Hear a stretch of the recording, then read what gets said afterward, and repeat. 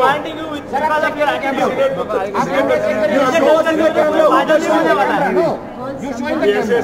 मत करो नो पड़ी Nobody has touched you. Don't don't lie.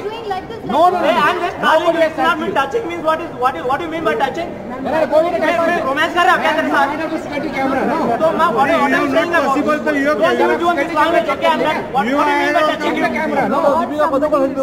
The least do you know do you know the meaning of the word touching? The least we expect from you is to be. What are you saying? No, no, don't say shut up. What do you Don't shut up. Talk like that.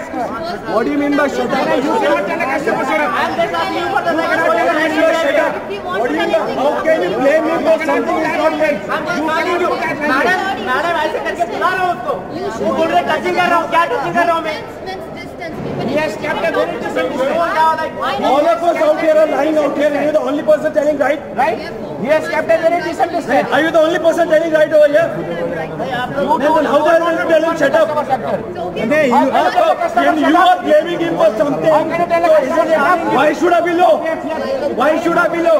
Because you're deaf and I have to be loud. You're not a dumb, so might be. Yeah, you are not capable to, you are not capable. So why are you sitting You are not trained properly to talk to customer. I am deaf and dumb. Huh? Bloody, this is how you people behave your customers. Call, call your senior guy. Call your goddamn manager here. Call your manager over here. To talk to him. Sir, आप बुलाइए please. Call somebody senior over here. What are you bloody owner of SpiceJet? Completely attitudeless. You are your goddamn. You need to be polite towards us.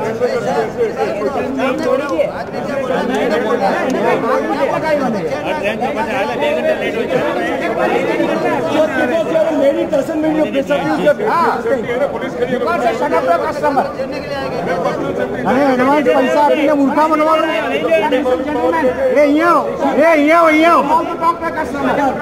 ये अडीस नहीं तू ओए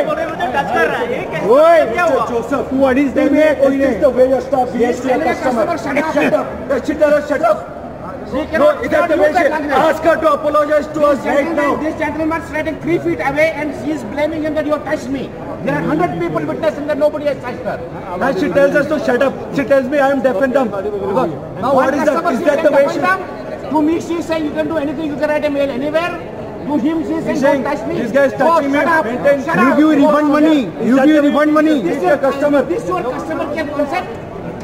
Please ask her That to is, apologize. that is. She Ask has the to lady to come here and talk to us. Otherwise, this flight Call the lady go ahead. Gentleman, she has told this guy, tell her shut up. not the way that- She has told this guy, shut up. when are you going to tell you need to He tell was at shut a up. distance of two feet. Listen, gentlemen. He was at a distance of two feet. even before there And would she played with that I, I just want And look at her goddamn attitude for Christ's sake. She does not even have the courtesy to be sorry. She has to be sorry. She has to apologize. She cannot tell a customer, shut up. We did not want to talk to her. We told her to call your manager. She doesn't want to call your manager. I am the right person. I'm not going to call anybody out here. She has to apologize, otherwise this flight will not go today. She cannot tell a customer, shut up. The customer is the source of your bread and butter. She cannot tell a customer, shut up. And this customer has has the only person right over here. a of three feet. somewhere right? I have my right to ask something. Like she is telling like if you want a refund then you cancel your flight and go back. I was asking her just like it's not attitude to say if the customer wants to like refund you go and refund himself. You don't have to show tell him that you have to refund like cancel the flight. So when you have to tell that you need to be polite and tell that like if you want to like get a refund go there is a way to tell that. So she is telling if you want go get. अरे advance पैसा लेने पर refund निकला वो तो. I don't know. I was calling her marriage. Now that you want to show. So she is saying you are touching me. What what does that mean? I am I molesting her? lost his grandfather. And this lady is telling him you are a deaf and, a deaf and dumb guy. No, she wants me to be low. I said I'm going to be loud because you people are deaf and dumb. She tells me back, you are deaf and dumb. I have all rights to be angry because it's your at fault. Now who the hell gave her the right to call me deaf and dumb? And you are not, you have to be, the least we can expect from you to be apologetic. What's your name?